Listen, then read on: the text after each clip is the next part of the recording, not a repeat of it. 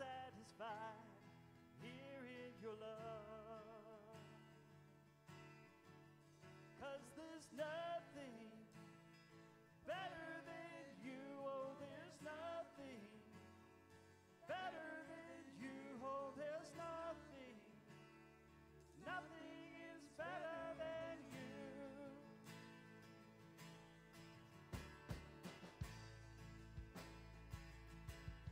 And I'm afraid to show you my weakness.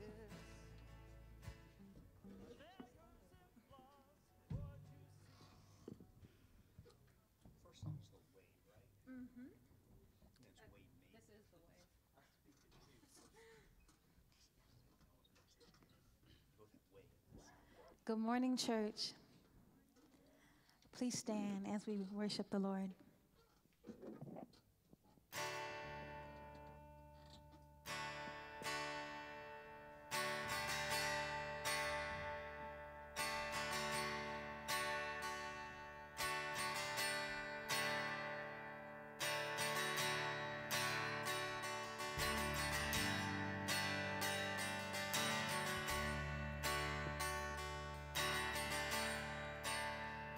Through every battle,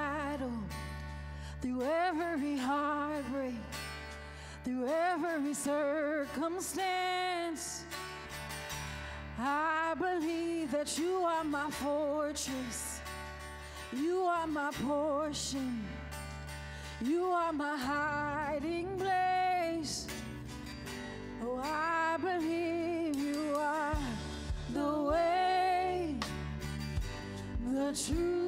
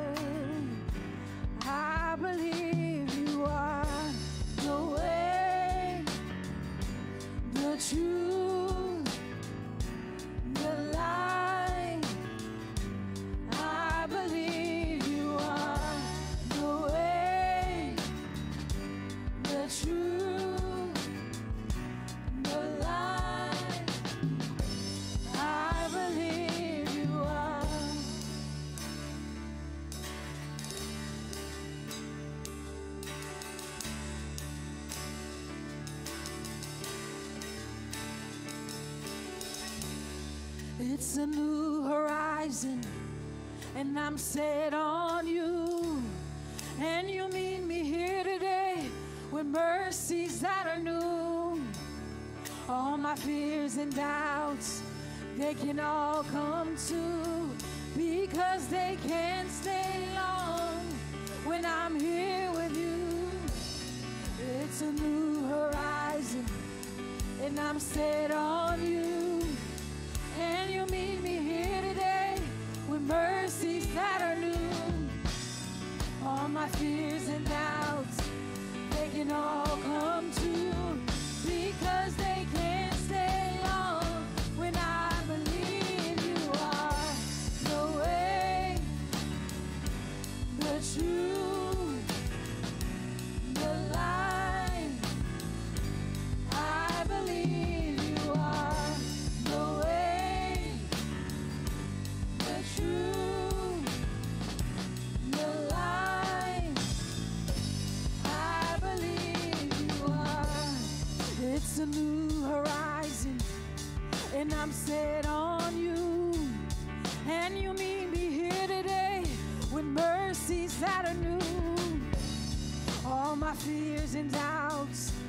they can all come true because they can't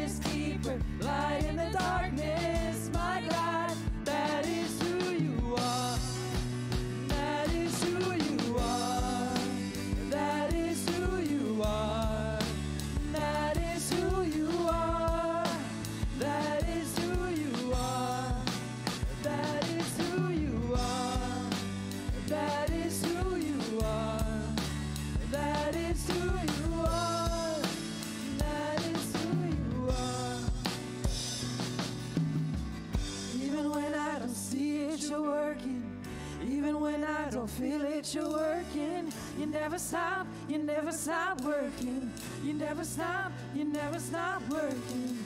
Even when I don't see it, you're working.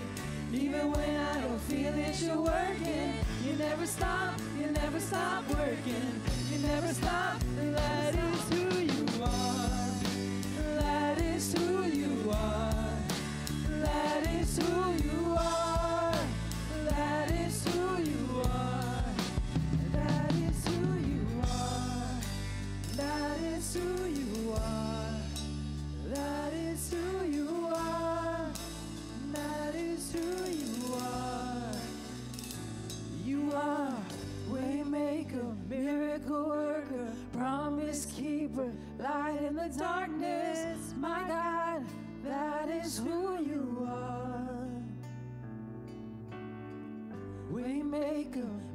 miracle worker, promise keeper, light in the darkness. My God, that is who you are.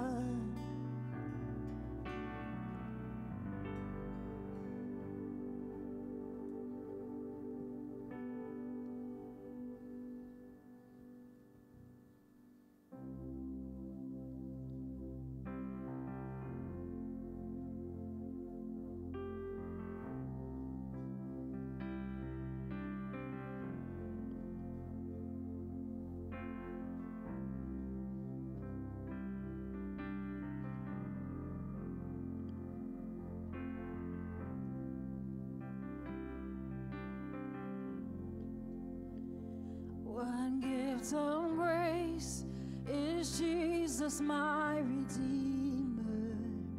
There is no more for heaven now to give. He is my joy, my righteousness and freedom, my steadfast love, my deep and boundless peace. To this I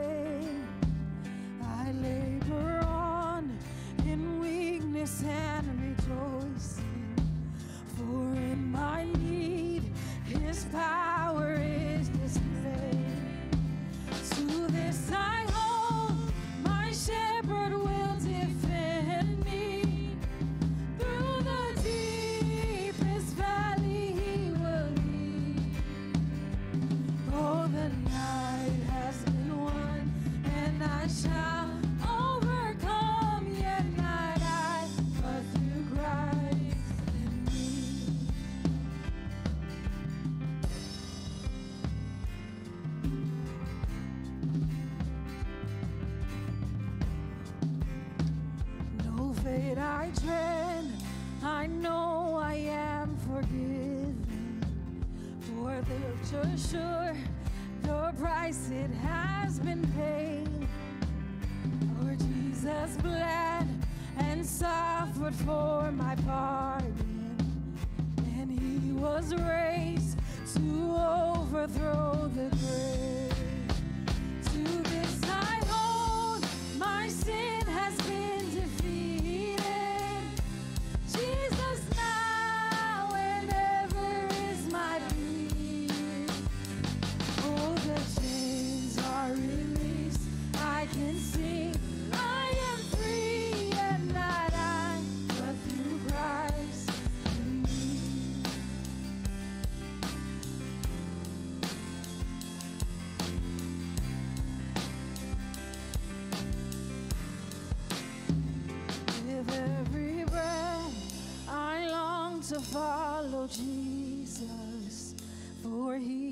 He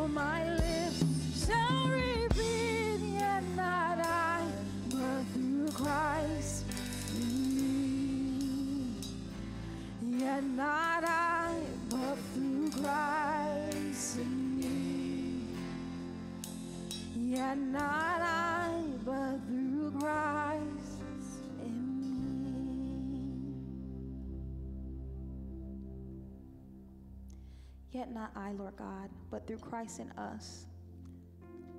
Lord, we thank you and we glorify you for all that we're able to do through you and be and for you, Lord God. We ask that your Holy Spirit will lead us and direct us in this service, Lord God. We pray that as we unify, Lord God, that our praises go up, Lord God, that it will be sweet incense before your throne. Bless this service in Jesus' name. Amen. Amen. You may be seated. well, welcome, everyone. It's uh, so good to see you again. Uh, welcome to Pursuit Church. Well, last week uh, somebody reminded me that I have forgotten to ask the essential question. And the essential question, of course, is what day is it? It's the best day of the week for us to be together and uh, just to focus and to worship the Lord this morning. Well, I'd like to uh, welcome back a visitor that we have, and that's Serena. So, so it's uh, nice to see you. I know she's traveled down for a special occasion, um, and uh, so it's good to see you. Well, we have another visitor today, and that's my son Brett. Um, so you might have noticed that we're dressed the same, um, but we really don't resemble each other very much. The reason is because I have shoes on. and uh, well, Brett is uh, sporting a really nice mustache too. So, um, well, we're glad to have Brett here, and uh, he's here to just to be with us and uh, to help me with some things over the next couple of weeks. So, um, Well, um, we are Pursuit Church. We are pursuing belonging, believing, and becoming in all the different uh, manifestations of that in the life of our church. Uh, we want for people to find a place of, of belonging. Um, we, want, we want them, of course, to be strengthened in their believing and, and most of all, in their becoming more like God's children um, in all the different dimensions of that. Um, so we've uh, last few weeks we've been um, going through uh, what's called the 1689 London Baptist uh, Confession of Faith. And uh, first, we've gone through, uh, we've read through some of the, the first chapter, which was on the Word of God. And now, now I would like to read something from the second chapter, which is uh, of God and the Holy Trinity. And so it's good for us just to hear these confessions that have been really well articulated and thought through and hammered through actually over centuries of, of doctrine. And so let's, uh, let's listen to this together. The Lord our God is but one only living and true God, whose subsistence is in and of himself, infinite in being and perfection, whose essence cannot be comprehended by any but himself, a most pure spirit, invisible, without body, parts, or passions, who hath only immortality, dwelling in the light which no man can approach unto, who is immutable, means he's unchanging, immense, eternal, incomprehensible, almighty, in every way infinite, most holy, most wise, most free, most free, most absolute, working all things according to the counsel of his own immutable and most righteous will. For his own glory, most loving, gracious, merciful, long suffering, abundant in goodness and truth, forgiving iniquity, transgression, and sin, the rewarder of them that diligently seek him, and withal most just and terrible in his judgments, hating all sin, and will, who will by no means clear the guilty. So we, we read about God in his person, in his Trinity, and uh, we, are, we are grateful for these words of teaching for us. This morning, we are, it's being the first Sunday of the month, we are going to celebrate communion together. And so I invite the, uh, the deacons to distribute the elements to us, and we'll, we'll just pause for a moment as they do that.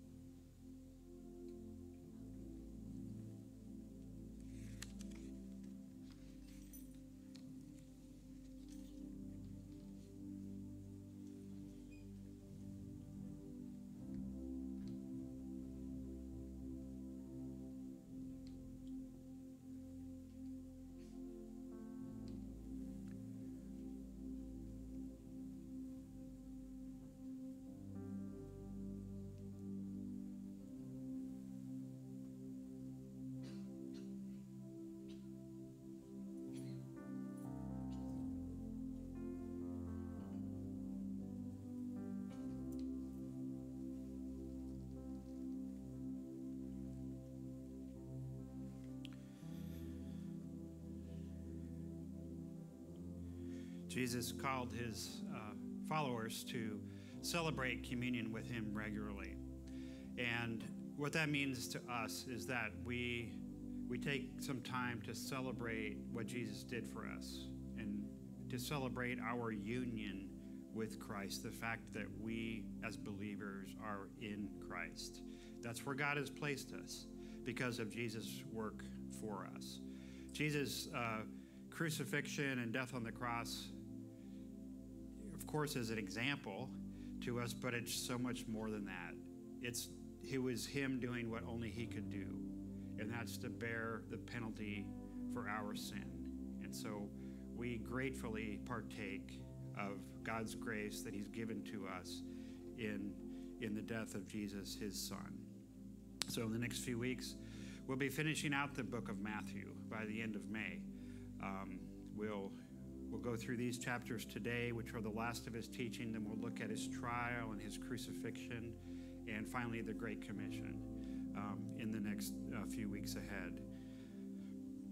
But we uh, we're grateful for all that the Lord has done for us, and we partake this together. So, in your cup, there's actually two cups. On the bottom is the bread, which we will partake of first. So, the Apostle Paul told us, um, he was telling the Corinthian people what he had received from the Lord. He said, For I received from the Lord what I also delivered to you that the Lord Jesus, on the night when he was betrayed, took bread. Let's take the bread together. And when he had given thanks, he broke it. And he said, This is my body, which is for you. Do this in remembrance of me. And so let's take the bread and eat it together.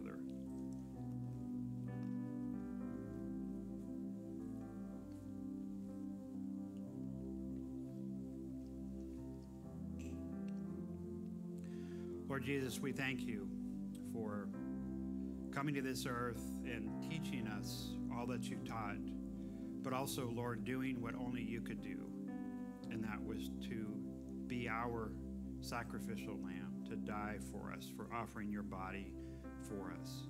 Lord Jesus, we give you thanks. And Paul continues In the same way, he took the cup after supper, saying, This cup is the new covenant in my blood. Do this as often as you drink it in remembrance of me.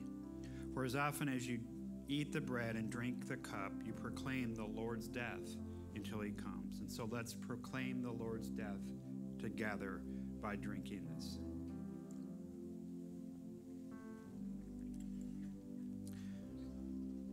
Lord Jesus, thank you for shedding your, your blood for us, for being our sacrificial lamb, pure and holy in every way you fulfilled all of, all of God's laws. You were perfect, and you died for us, and we thank you. It's in your name we pray. Amen. On Sundays, where we celebrate communion together, we actually take two offerings, and uh, one is a benevolence offering, and another is um, just our general offering as well. And so, um, if you'd like to give to benevolence and don't have a an envelope or way to keep it separate, just raise your hand and somebody can get you an envelope. Um, but let's, uh, let's take those offerings now together. Father, we thank you for this day that we can be together to worship and just enjoy one another, enjoy fellowship with you, being in your presence. Father, thank you for this opportunity to, to give to those that, that have needs within our own body and also those are, that are without, Lord. Give us wisdom always in knowing how to, uh, to share those funds with others. We thank you for this opportunity and just for you, the opportunity to give to your church and to your kingdom. And we pray this in Jesus' name.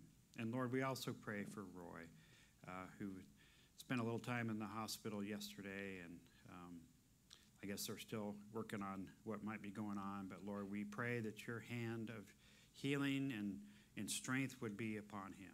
In Jesus' name, amen.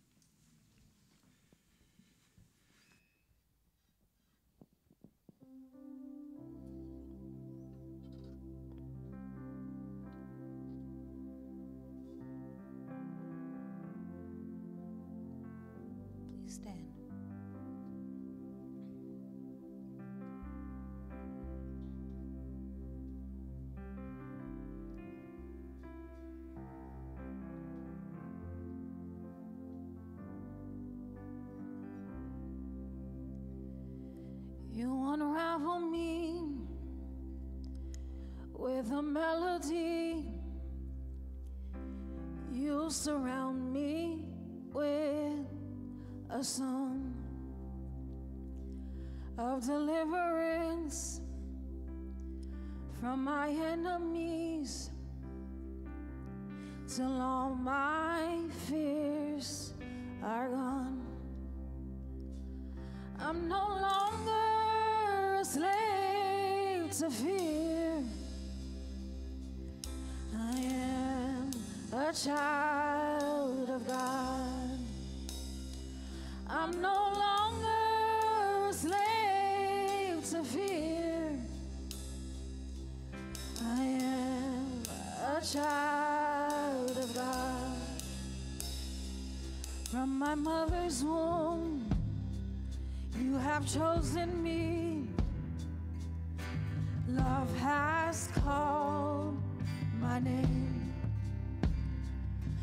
I've been born again into your family. Your blood flows through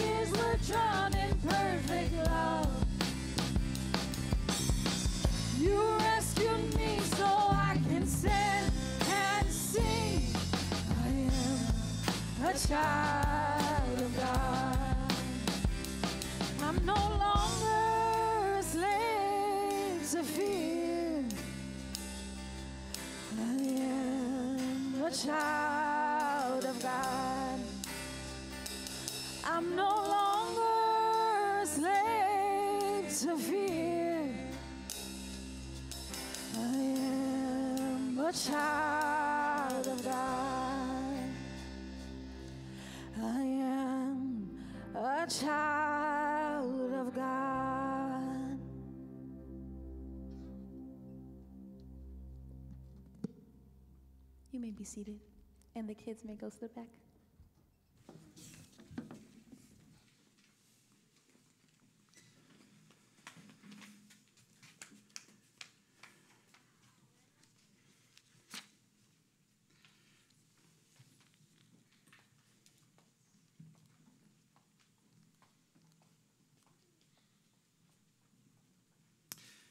Well, speaking of children, um, when you're a parent of small kids, you often find yourself chasing them around, uh, making sure they don't hurt themselves. Am I right?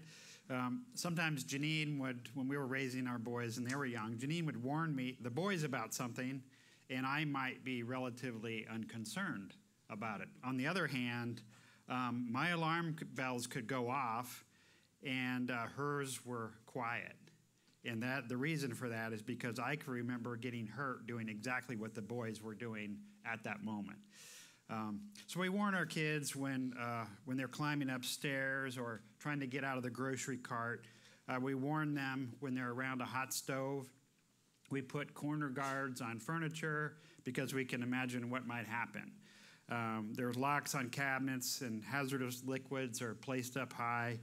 Um, these are all things that we do as caring parents um, for our kids.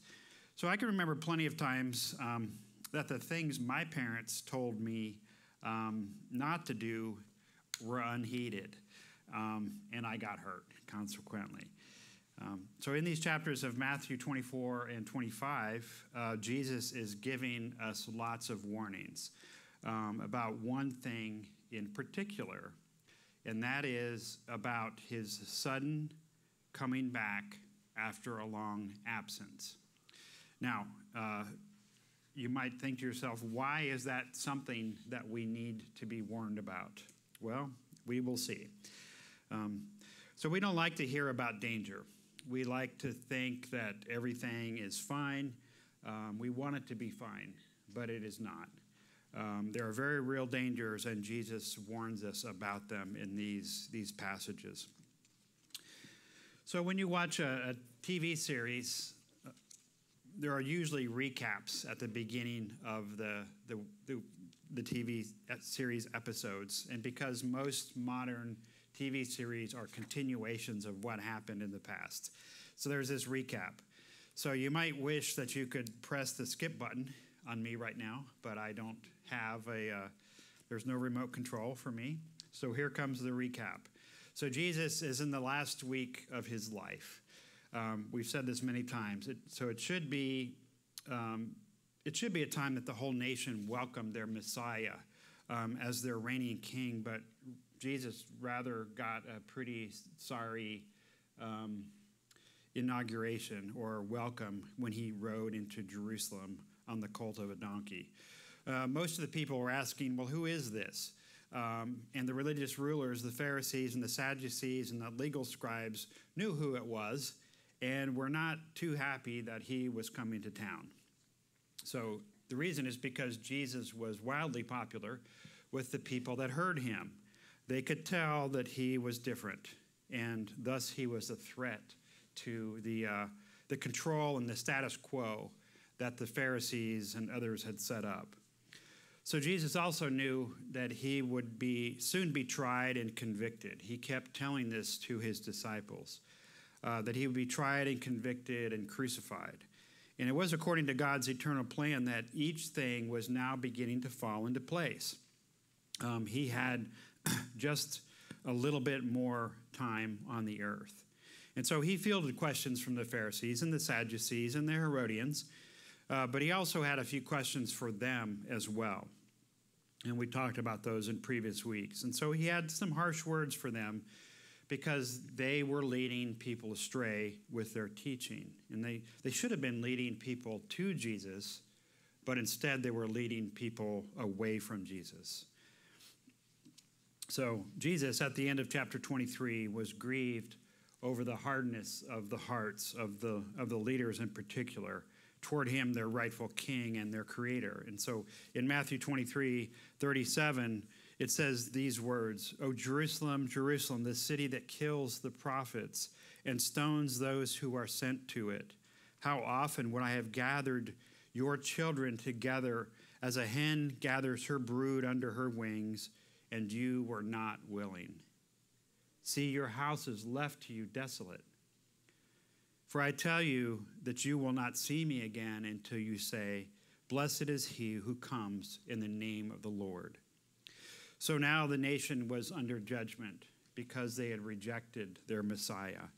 And Jesus told his disciples these words in Matthew 24, which we talked about last week. Still part of the recap. Jesus left the temple and was going away. And when his disciples came to him to point out to him the buildings of the temple, but he answered them, he said, You see all these, don't you? You see all these magnificent buildings. But he answered them, You, you see all these, do you not? Truly I say to you, there will not be left one stone upon the other that will not be thrown down. And as he sat on the Mount of Olives, the disciples came to him privately, saying or asking these questions Tell us when these things will be, and what will be the sign of your coming and the end of the age. And so the chapters that follow this are Jesus answering those two questions. Um, they thought they were the same thing, they, they thought they were just another nuance of the same thing. When uh, They thought that when Jerusalem is destroyed, surely that must be when he's coming back. But Jesus actually shows that those are two separate things um, if you read these, these texts carefully. So Jesus spends the next two chapters of verses answering those two questions. So there are specific prophecies here in these chapters that are related to the fall of Jerusalem. And that happened in AD 70. So Jesus' intent was to warn his disciples and the larger group of disciples, um, and through them many others, that when they see these signs to avoid going to Jerusalem, because that's what people did. The people in the country would come into the, into the city with, with great walls and they would be safe from the invading armies. And so the walls of Jerusalem were 150 feet high and incredibly thick. And so they thought they would be safe there. So he, he, he told them when you see these things happening, don't go to Jerusalem, but flee and go to the mountains. So all this happened in AD 70. The Romans attacked the city and killed over 1 million Jews. Um, they thought that they would be safe in the city. So it was exactly in a way like the Lord of the Rings movie where the invading orcs have these great catapults and they were throwing huge stones into the city. That's what the Romans did to the city of Jerusalem in order to, to uh, destroy it. It took them a number of months, six months, but they eventually broke through. So Jesus uh, warned his followers of these events and told them to stay away. So those that listened to Jesus uh, were saved because they stayed away from Jerusalem.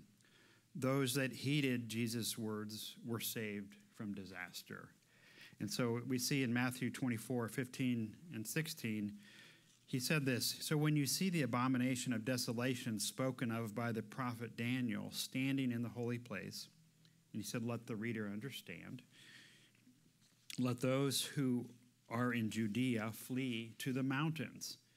Now, the book of Luke says it a little bit differently, but it makes it clear that this, these prophecies that Jesus was saying are about the fall of Jerusalem. In Luke 21 20, it says, But when you see Jerusalem surrounded by armies, then know that its desolation has come near. Let those who are in Judea flee to the mountains, and let those who are inside the city depart, and let not those who are out in the country enter it. So, of course, this happened when the Romans came. They surrounded the, uh, the city.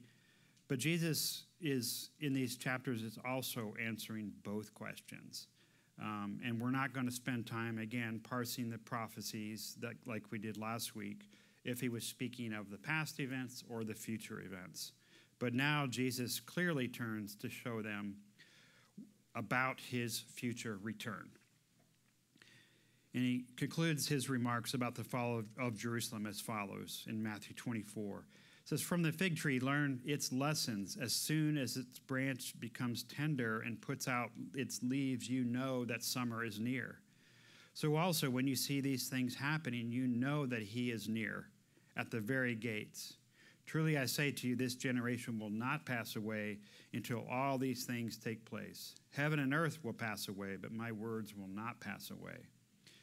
So he said clearly, You know, you know that summer is near in verse 36. But in verse 36, he says this way But concerning that day and hour, no one knows, not even the angels in heaven, nor the Son, but the Father only. For as were the days of Noah, so will be the coming of the sons of man. So just to emphasize it again, first Jesus says, You know. Then he says about the coming of the Son of Man, that no one knows.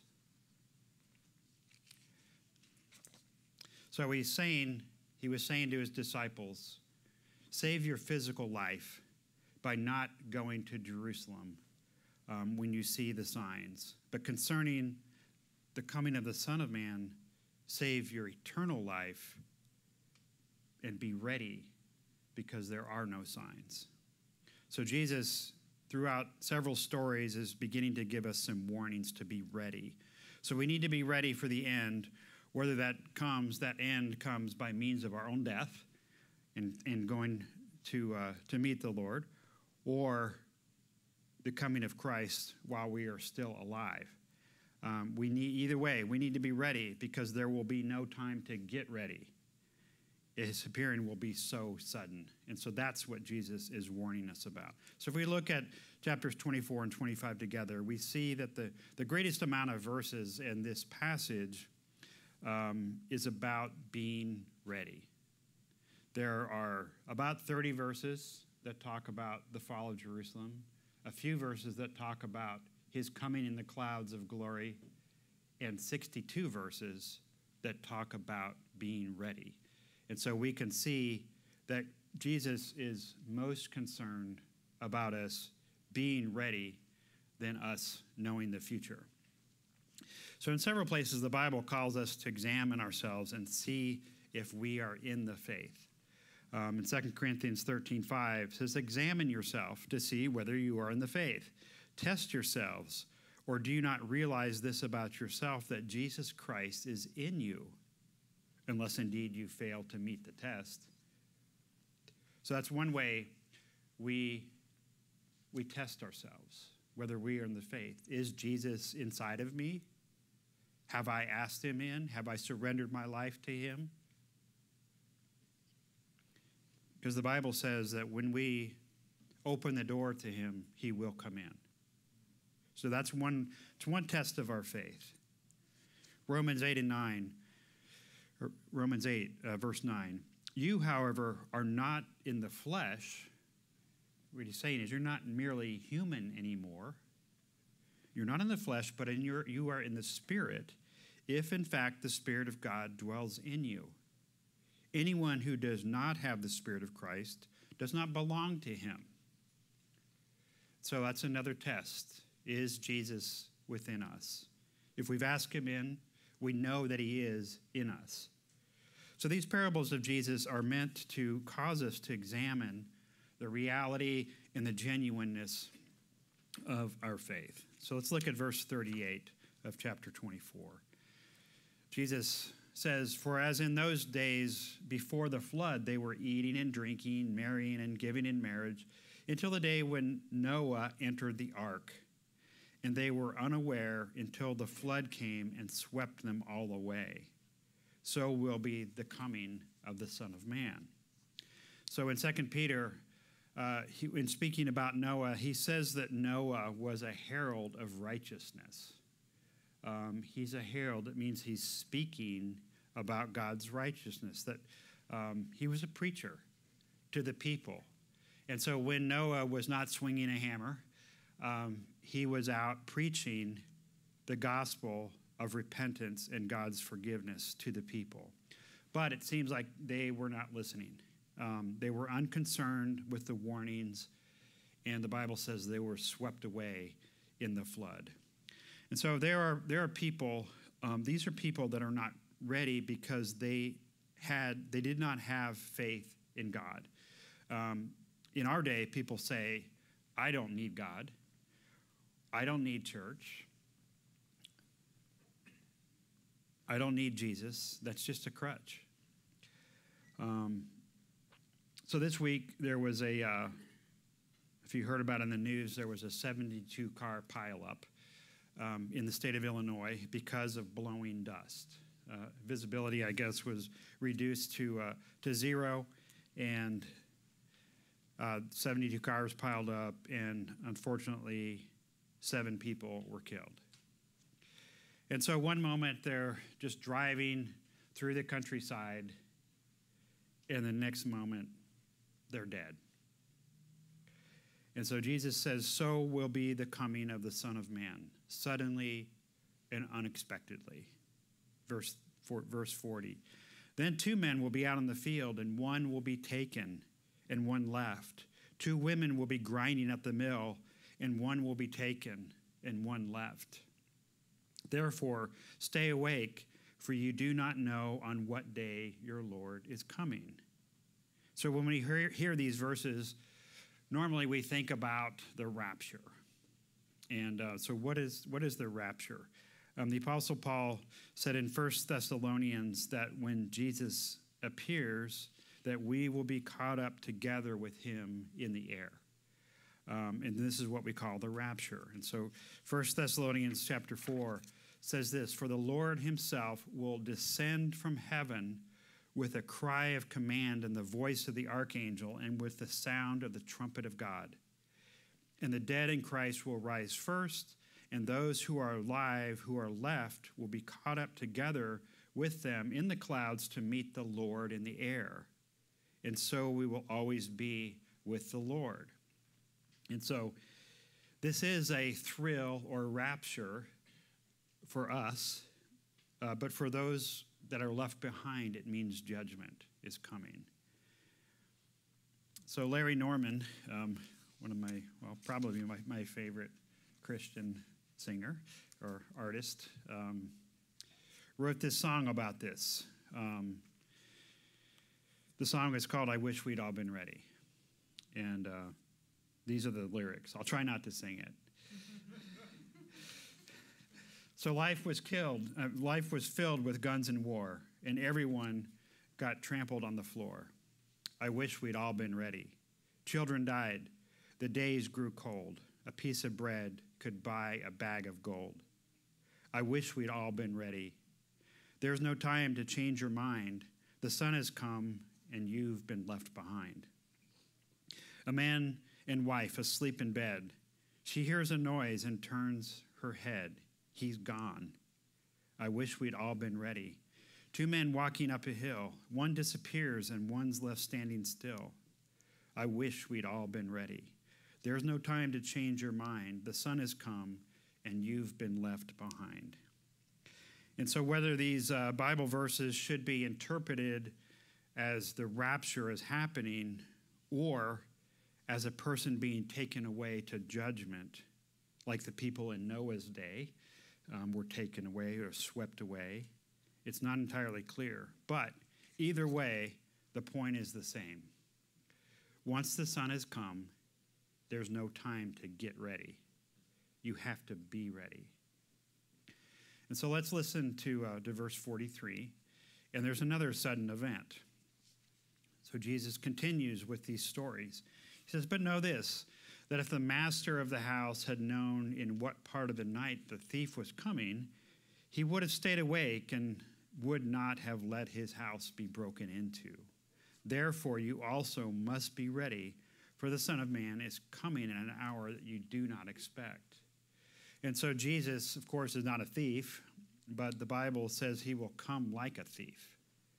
Um, nobody expects the thief to come to their house, but he does sometimes. Suddenly, he will come. He will come suddenly and no warning. So we're told not to be complacent. We are not guaranteed tomorrow. So last week, um, last week, last week, Vic had a close friend and fellow worker that who died suddenly, and um, fortunately, he was a believer and and was ready as far as anyone could tell. But it was shocking. Suddenly, he was gone. And so, to be ready, first of all, uh, we need to be sure that we have personally repented and put our faith in Jesus. That's the first step.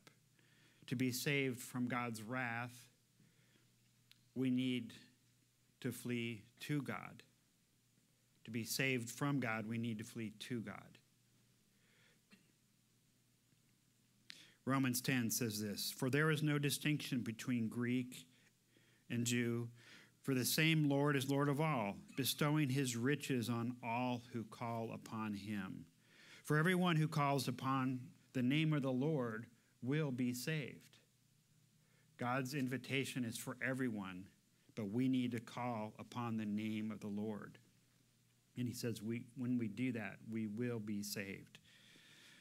So there are, there are four more types of people to look at. Um, in verse 45, it says, Who then is the faithful and wise servant whom his master has set over his household to give them their food at the proper time? Blessed is that servant whom the master will find so doing when he comes. Truly I say to you, he will set him over all of his possessions. So, this is the first person that we've looked at so far that is shown in a positive light. Um, and so, how is this person full of faith? Is the question.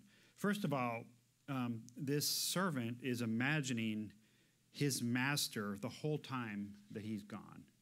So, his imagination is active.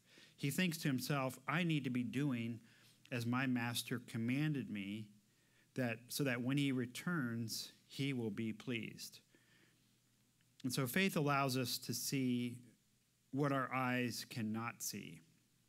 Um, in a sense, faith is our imagination used to picture God's will for us, and then we set about doing that. And so we pray um, in the Lord's Prayer, Lord, your will be done on earth as it is in heaven.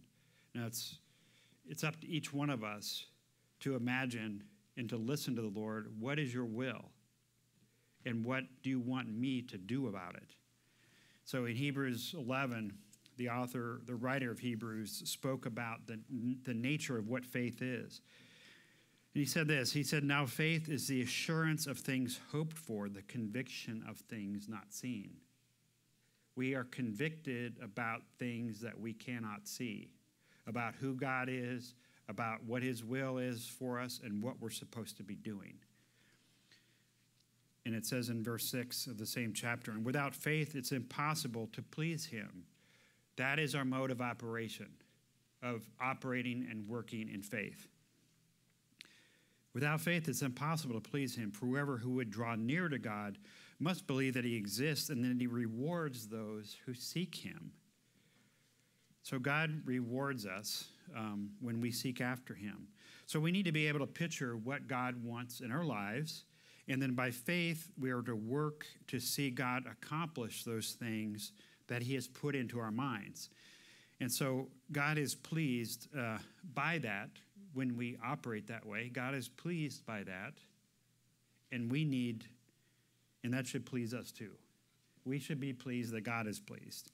So, but now in verse 48, there's another person that does not have faith, another servant in the same household.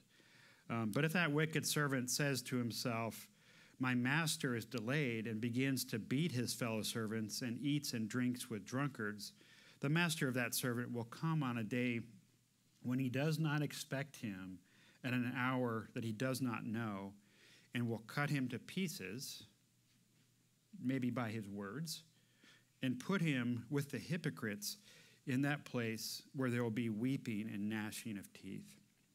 And so the wicked servant, instead of imagining himself investing his life in doing the master's will, uh, says, He won't know.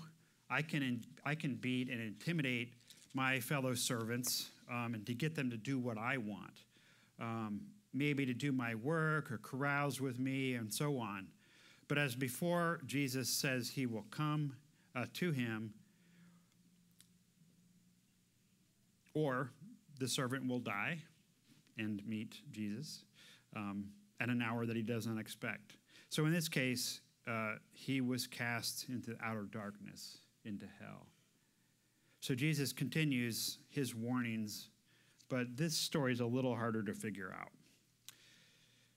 Chapter 25, verse 1. Then the kingdom of heaven will be like ten virgins who took their lamps and went to meet the bridegroom. Five of them were foolish, and five were wise. For when the foolish took their lamps, they took no oil with them, but the wise took flasks of oil with their lamps. As the bridegroom was delayed, they all became drowsy and slept. But at midnight there was a cry Here is the bridegroom, come out to meet him. And all those virgins rose and trimmed their lamps. And the foolish said to the wise, Give us some of your oil, for our lamps are going out. But the wise answered, saying, Since there will not be enough for us and for you, go rather to the dealers and buy for yourselves. And while they were going to buy, the bridegroom came, and those who were ready went with him into the marriage feast, and the door was shut. Afterwards, the other virgins came also, saying, Lord, Lord, open up to us. But he answered, Truly I say to you, I do not know you. Watch therefore for you know neither the day nor the hour. And so the virgins or the young women uh, were, were young women that were not married yet, um, and they were attendants of the bride at the wedding. And so um, they were to be shown the way to the groom's house uh, by the groom himself. And so these virgins had, had not made the basic preparation to, uh, to make sure that they could go. Uh, they were careless and they did not even make the smallest preparation, apparently. And so it'd be as if they did not bring batteries for their flashlight, or perhaps more directly, if they did not get on the bus when it came. So, what, who do these represent? Who do these virgins, or five virgins in particular, represent? So, James Boice uh, shares the following list of similarities between the, uh, the five virgins um, and the ones that were careless and the ones that were wise. He said, first of all, they had all been invited to the marriage feast and they knew it. Okay, secondly, they'd responded positively and were coming. Um, they would say that they were Christians. Um, they came to church. Um, they had some affection and love for the groom, that's Jesus. Um, they confessed Jesus as their Lord. These virgins called out to Lord, Lord. Um, they all believed that they were prepared for his coming, um, and they all slept. But when they awoke, only five of them were actually ready. And so uh, James Boice concludes um, that there will always be people in the church that have heard the gospel invitation and have responded in some sense and may even have some affection for Jesus, but who are not born again. And so this wedding is, of course, the wedding of Jesus himself to his bride, uh, the church, at the end of times in heaven. Um, and so the book of Revelation speaks about this, this wedding that will take place in Revelation 19 it says this Let us rejoice and exult and give him glory, for the marriage of the Lamb has come, and his bride has made herself ready. It was granted her to clothe herself with fine linen, bright and pure, for the fine linen is the righteous deeds of the saints. And the saints are all believers. And the angel said to me, Write this Blessed are those who are invited to the marriage supper of the Lamb. And so we see that the occasion that Christ has in mind is his own marriage to his bride, the church, and all who are part of it. So let's uh, take a minute now and step back and look at all this together. So I think that um, sometimes the greatest ability that we as humans have is not actually a good one, um, and it's the ability to be self deceived. Um, and I'm not trying to be cynical, um, but I just see that in myself. One of the most difficult things to do is to see myself accurately and honestly. Um, and I've said this before, um, at other times when we've heard some very sharp words from Jesus, that Jesus never spoke more sharply to people than the hardness of their heart required. Um, so sometimes he does speak very severely, as in these stories. These are warnings to us to listen. So sometimes he, he spoke very severely, but it's not just the crusty Pharisee that has the hard heart. Um, it's me, and it's you. So we need Jesus' incisive words uh, to cut through our hard hearts. And so, conversely to that idea that Jesus is severe as he needs to be, converse to that is also to know that Jesus is always as gentle as he can be. He's always as gentle as he can be. So he wants to take us in. He wants to bring comfort and salvation to us. He called out to Jerusalem, How often I would have gathered your children together as a hen gathers her brood under her wings, but you were not willing. And so we've seen some different sorts of people in these parables. Um, like in Noah's time, there were there were people that did not know God. They didn't have much use for God um, or knowing Him, and so they didn't know Him. And uh, we've also seen some people that knew the Master. There was a good one and a bad one. They knew the Master. Uh, the good one did what the Master, he, what he knew the Master wanted, even though the Master was gone. Um, the bad one did whatever he wanted because the Master was gone. So finally, we've seen that some knew the master and loved the master in some sense, or the, the groom, but failed finally to be able to complete the journey. And so they were not ready, and the bus departed, so to speak. So all these are warnings that, that center on this idea that we need to be ready. We need to be ready. So we need to have a real and genuine and an operative faith. Uh, we need to be going about doing the Master's will and preparing ourselves uh, to keep doing it by not getting lazy or distracted or seeking after our own pleasures.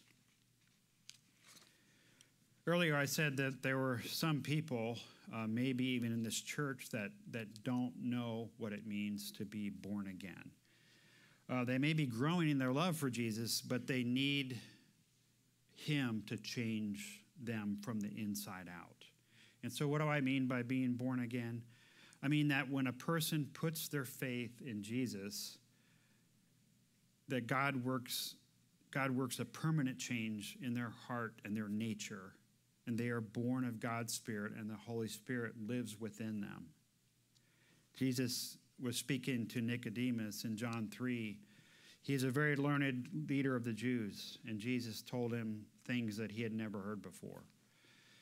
Jesus said, Truly, truly, I say to you, unless one is born of water and of the Spirit, he cannot enter the kingdom of God. That which is born of the flesh is flesh, that which is born of the Spirit is spirit. Do not marvel that I say to you, You must be born again.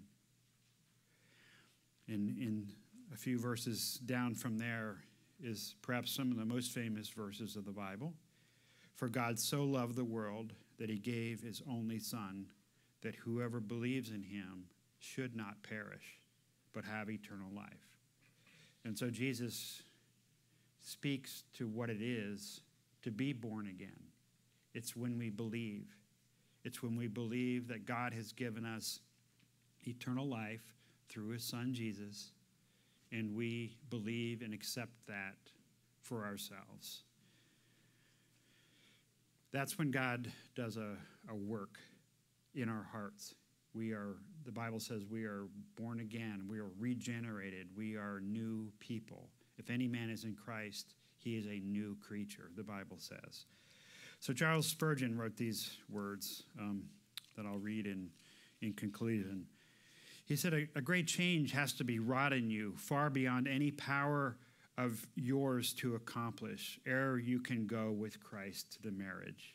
You must, first of all, be renewed in your nature, or you will not be ready. You must be washed from your sins, or you will not be ready.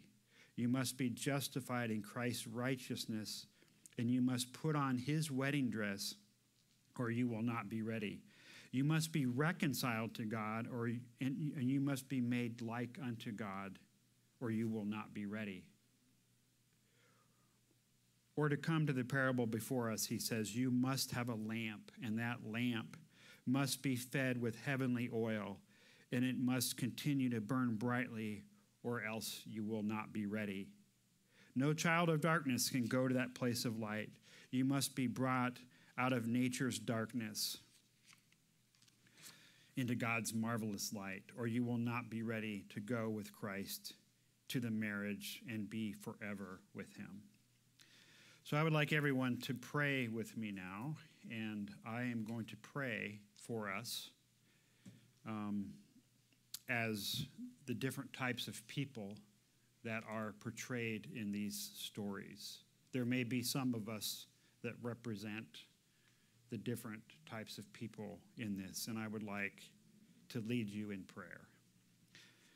So let's uh, close your eyes and bow and, and pray with me.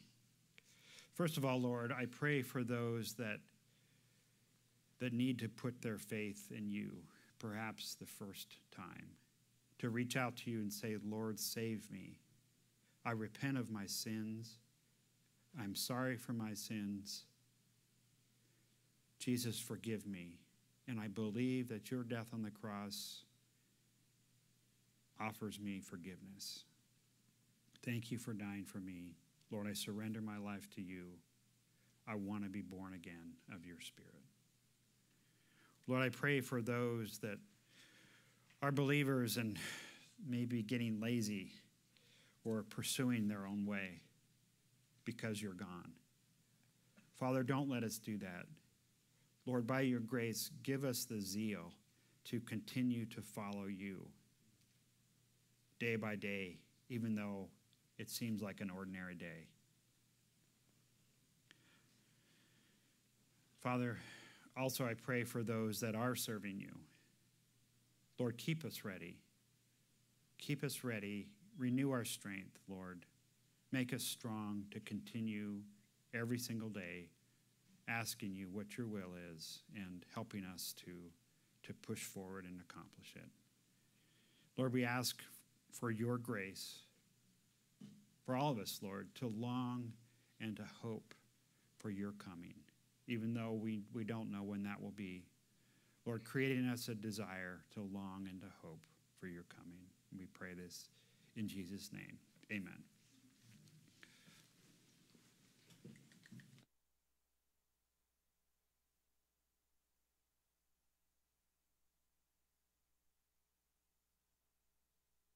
Please stand.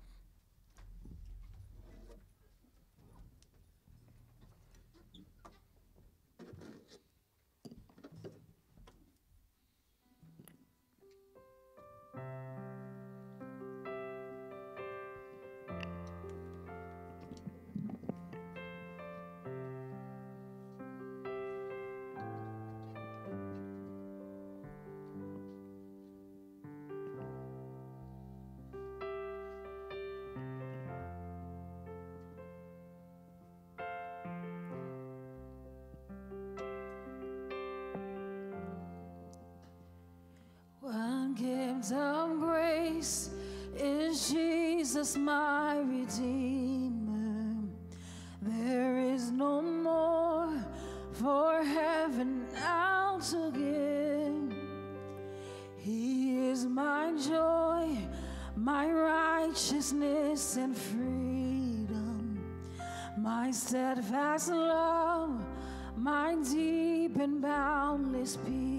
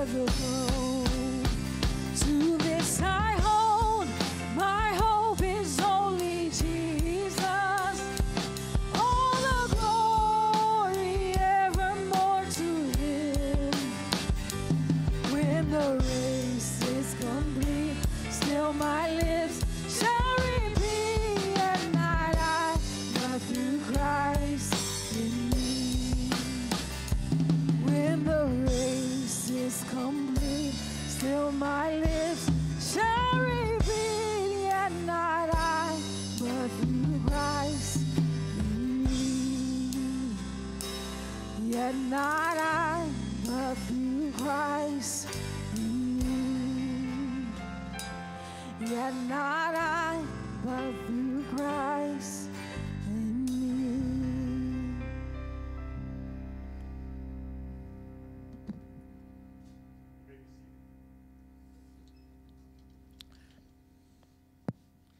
So a couple of quick announcements, actually more than a couple today. It's kept on adding on a little bit uh, here and there. There are a couple of things that have uh, our usual community groups that may be on break for some time. So one of them is Hiding His Word. That's going to be on break until probably uh, start of the fall, as well as Pursuit Nights is on break uh, right now. They will be merging with the upcoming summer study that will be going through the Ligonier conference materials, the sessions that occurred. That will be starting on Wednesday, June 14th, here at Pursuit, starting at 6:30 in the evening. Okay. So that's coming up. Uh, just keep that in mind. Kind of pencil that in, save the date. But morning Bible study is still on, going through the book of Proverbs on Thursday mornings over Zoom, led by Stephen. And then The Chosen, season three, episode eight, season finale, actually going to be for both groups this week, but we're first. So uh, Vic's group will be meeting on Tuesday night, and Emmy's group will be meeting on Friday night and wrapping up uh, season three. And then we'll be on a little bit of a hiatus for The Chosen. There may be a Spanish group that might meet sometime in the fall. We're in the early stages of considering that, of going through it again, uh, but in Spanish. All right, now, let's see. Next week, Mother's Day, breakfast, breakfast, breakfast. A very good breakfast. Starting at 9:30, uh, so about an hour before service starts. If you'd like to bring something, please do. If you've got any questions, please see Mariana. She's coordinating that. So we'll have a Mother's Day breakfast. Uh, it is for everyone. It is not just for the mothers. While we are celebrating moms, it is for everyone. So it's not like the guys can't get in line or something. All right, so that's uh, for Mother's Day. Um, we do have today our first changeover from last Sunday prayer to first Sunday prayer. So today is first Sunday. So a couple minutes after we wrap up, uh, you know, uh, have some time of fellowship, we'll start our prayer time uh, today. Another save the date for what will be happening in the summer, July 10th through the 13th, we will be having a summer VBS. It'll be in the afternoons here at the church.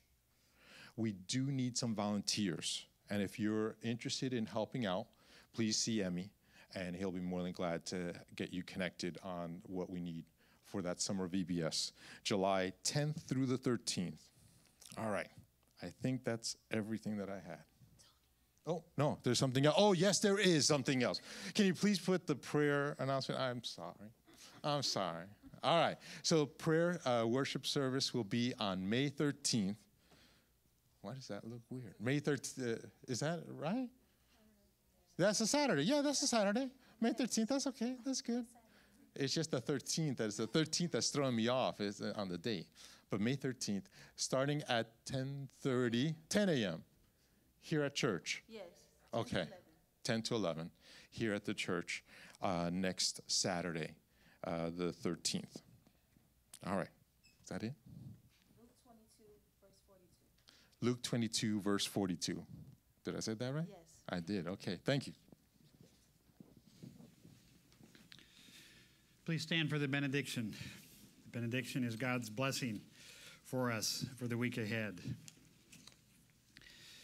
In Titus chapter 2, it says these words For the grace of God has appeared, bringing salvation for all people, training us to renounce ungodliness and worldly passions, and to live self controlled, upright, and godly lives in the present age, waiting for our blessed hope, the appearance of the glory of our great God and Savior Jesus Christ, who gave himself for us to redeem us from all lawlessness and to purify for himself a people for his own possession who are zealous for good works. Go and be blessed.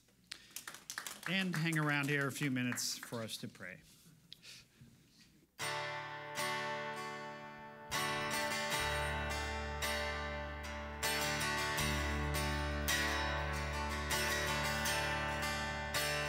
Through every battle, through every heartbreak, through every circumstance, I believe that you are my fortress, you are my portion, you are my hiding place. Oh, I believe you are the way the truth,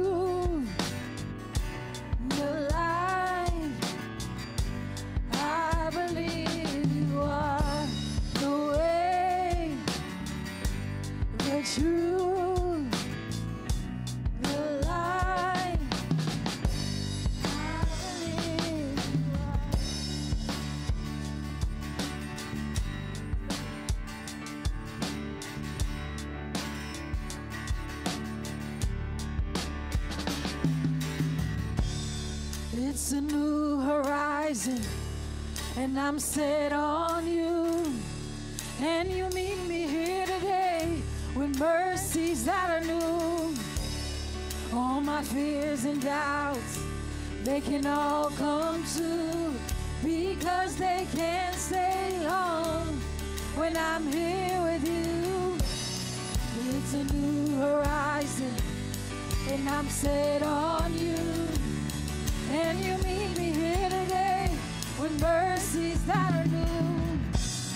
All my fears and doubts, they can all come true